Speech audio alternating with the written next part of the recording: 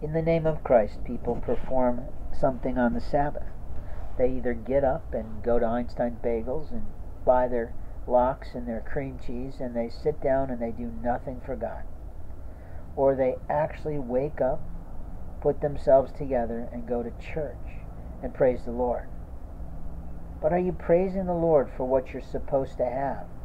Or are you praising the Lord for what you took and didn't deserve?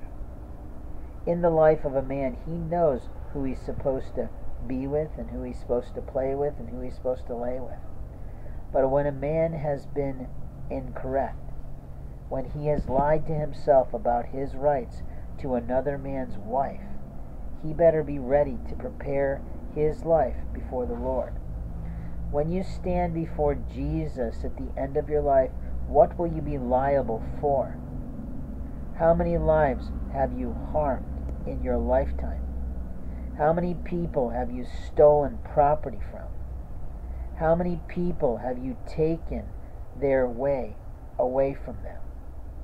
You see, the people who keep interfering with me and my lawful wife in front of God's house will be standing before the Lord, having to explain themselves to God. It doesn't matter what they believe in. It doesn't matter what their preferences are. It doesn't matter who they loved. It doesn't matter who they had. It doesn't matter. What will matter is what God says to them when He looks at them through His eyes and said, What in the fuck did you think you were doing in my house of God? You see, the house of God is everywhere. The house of God is everything. The house of God is what God chooses it to be, not something man chooses it to be for God. In the house of the Lord there are many rooms, because God makes every one, but people choose Satan every day.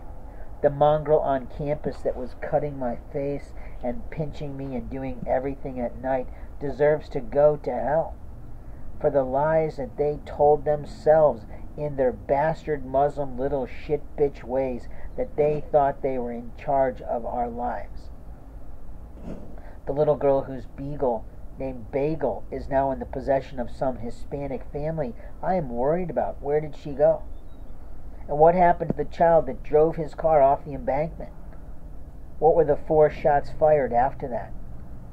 Who in the world is in our force today is a really important question because those people are destroying our lives today, stealing our property, ruining our families, destroying our rights to technology, and lying about it every day.